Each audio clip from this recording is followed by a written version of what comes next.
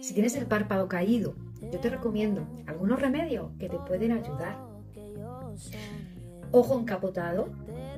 Oli, soy Ana Pérez y he decidido crear un diccionario a modo de vídeos cortos donde te iré explicando esas palabras técnicas que usamos y que damos por hecho que tú también las entiendes. Dicho esto, el ojo encapotado son en los que el párpado fijo cae sobre el párpado móvil, de manera que el pliegue se pierde prácticamente cuando el ojito está abierto. Si tienes el párpado caído, yo te recomiendo algunos remedios que te pueden ayudar. Lo primero, usa un contorno adecuado para ese problema. Yo uso el mejor. Aplica frío en el párpado. Pon bolsitas de té de manzanilla en los párpados. Crea tu propio ungüento frío con mascarilla de aloe vera. Practica el yoga facial.